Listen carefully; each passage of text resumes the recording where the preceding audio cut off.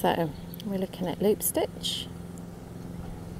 Insert the hook, raise your finger, collect the furthest bit of yarn, twist round and collect the next, pull through, release your finger.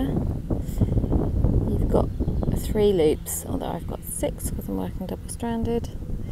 And you yarn over and pull through all three like a normal single crochet. Let's do that again.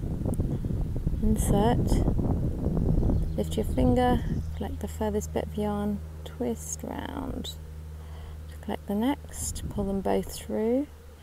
One of your loops will be a little bit twisted where you've um, spun your hook. Yarn over, pull through all loops.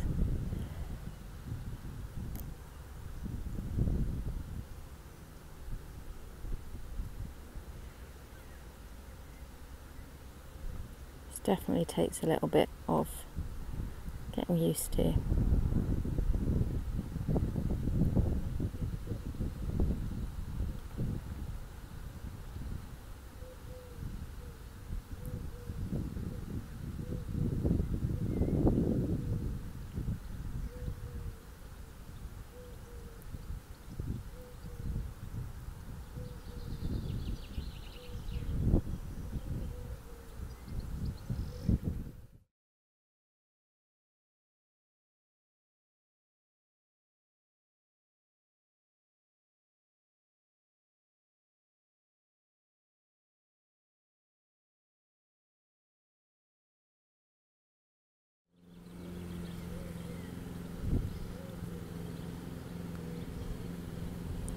Okay, so there is my first row.